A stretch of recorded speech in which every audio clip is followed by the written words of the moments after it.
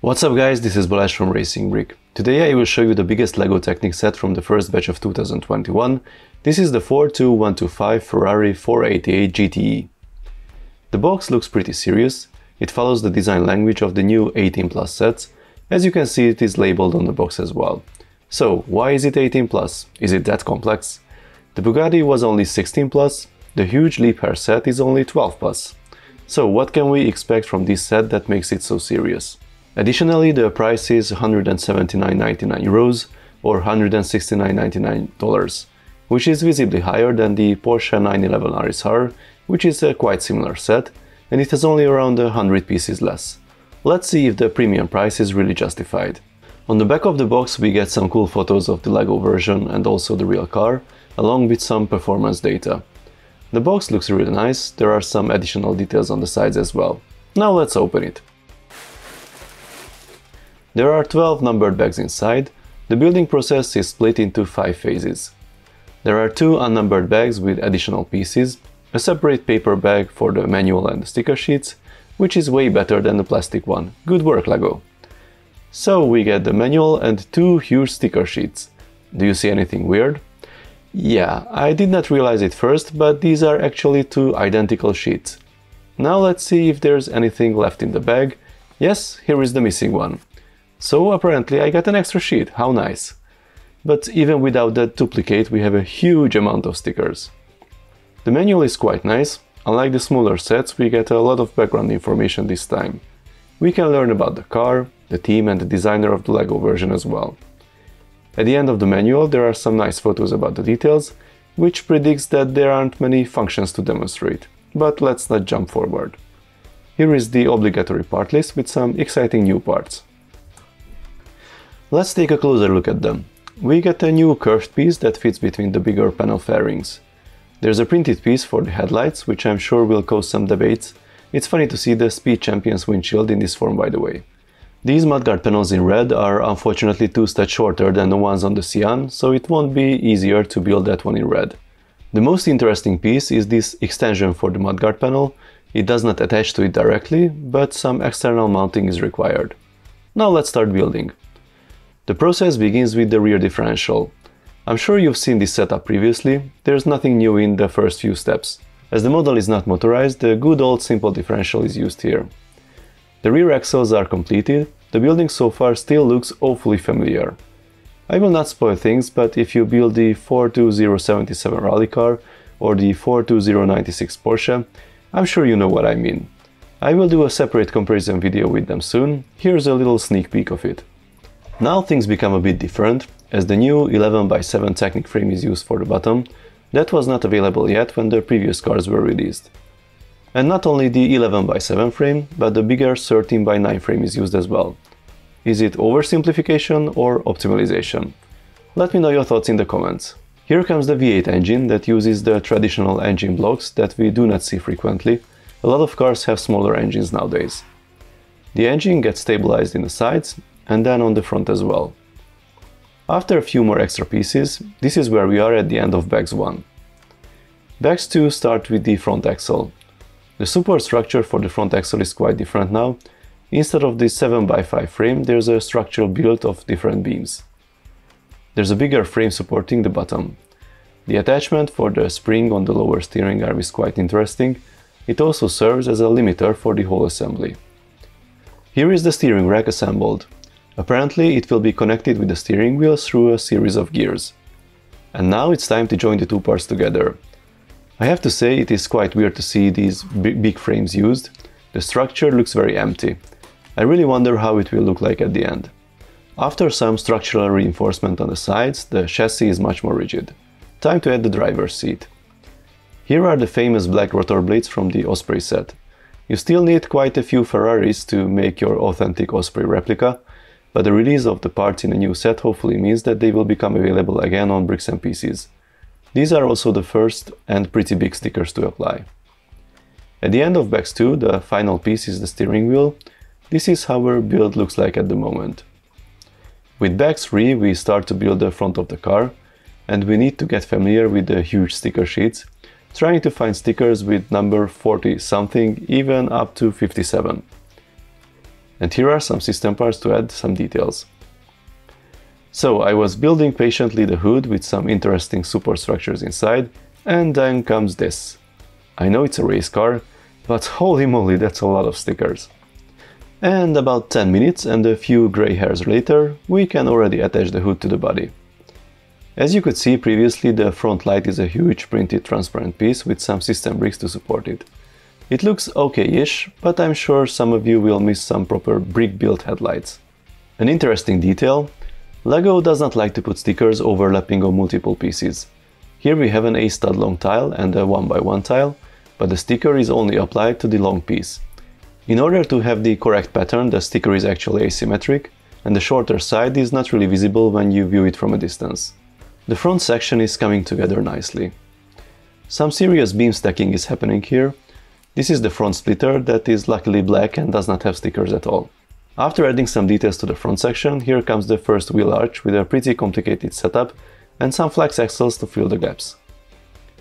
After seeing that new middle piece for the small fairings in the smaller sets, now we have one for these bigger ones as well. Here comes the dashboard with bigger Technic pieces and some system parts for the smaller details, and this is the end of BEX 3.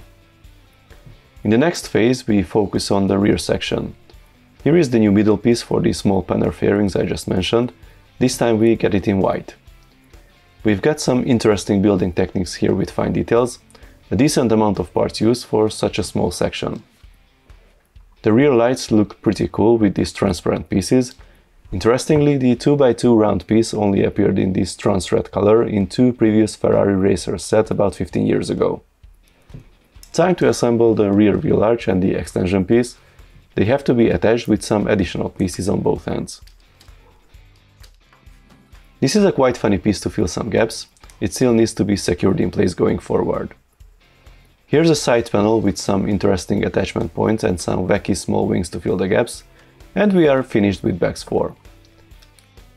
The last BEX starts with an interesting structure that quickly becomes much more complex. By the way, if you thought that the color variation only happens with the line pieces, well, think again. The similar pieces with an axle had a similar issue in lime, and they were darker as well. If you ask me, I would say it is a slightly different type of plastic. Anyway, back to the build. I'm sure you already found out, this is the roof of the car. We have to connect it at the A-pillars and at the back as well. There are quite a few things to connect here actually. Now comes the cover for the rear end, and finally we can push these pieces in place as well. Here is the door. It is actually quite simple compared to the other sections. Ah, okay, so it was not finished yet. Now it's much better. We need to turn the car upside down to add the rear diffuser. It is a mix of Technic and system bricks, but you need to pay attention to mount it in one piece. While it is upside down, it is time to add the wheels. The final touch is the rear spoiler, and our Ferrari is ready. From the outside, the car has lots of details. Certain areas look quite nice and look like the original, but there are some big gaps here and there. The overall proportions are okay compared to the real one, although the wheels seem to be too big, and surprisingly the tires have lower profile than the original ones, usually it's the other way around. I'm sure you noticed already, there are stickers everywhere. The original, being a race car, has a full race livery, and the stickers on the LEGO version work okay if you look at the car from a distance, but if we take a closer look, then the gaps are quite visible unfortunately. Now let's see the features. It has independent suspension on all wheels and it works quite well, but the car sits pretty high compared to the real one, since that almost touches the ground. The suspension has to be compressed almost fully to look like the real one. We have opening doors and a working steering wheel in the cabin. Unfortunately, there's no hand-of-God steering, so it's similar to the Porsche in this matter. The set is not really playable this way. The interior is moderately detailed, but it is a race car, so there should not be high expectations. The rear wheels are driving the V8 engine through a differential. It is interesting to see the lack of detail in the engine bay. There's not even a Ferrari sticker on the tile on top, which is quite surprising. Apparently LEGO wanted to differentiate this model from the high-end supercar models like the Lamborghini or the Bugatti, and only add details to those. Thanks to the large Technic frames used in the chassis, there are huge gaps in the model. This does not really help with the rigidity and it looks kind of unfinished, but I'm sure people who want to motorize the set will be very happy about it. Otherwise, the set is pretty sturdy. You can grab it by the roof and there are only certain areas where you need to pay attention. So, let's sum it up. Here is a model that looks definitely cool, a real racing Ferrari. Although it is not the same scale like the Lamborghini or the Bugatti, it is still pretty impressive and looks great on any shelf or desk. The building process is not boring at all, there are quite a few details added and some interesting building techniques used here and there. If you don't like stickers, then it will be a challenge for you, but the end result from a certain distance is quite appealing. So, what's the problem? Well, apparently the 18 plus category is not about the complexity of the build or the functions, but the fact that it is a display model and not something to play with. Apart from the obligatory fake engine, the steering wheel and the doors, there are no any Technic functions in it. Really. The McLaren Senna, which is a set for 50 bucks, offers more playability as it has at least hand-of-god steering.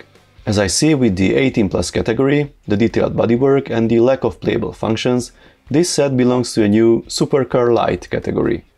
LEGO releases the 1 to 8 supercars only every second year with a pretty hefty price tag.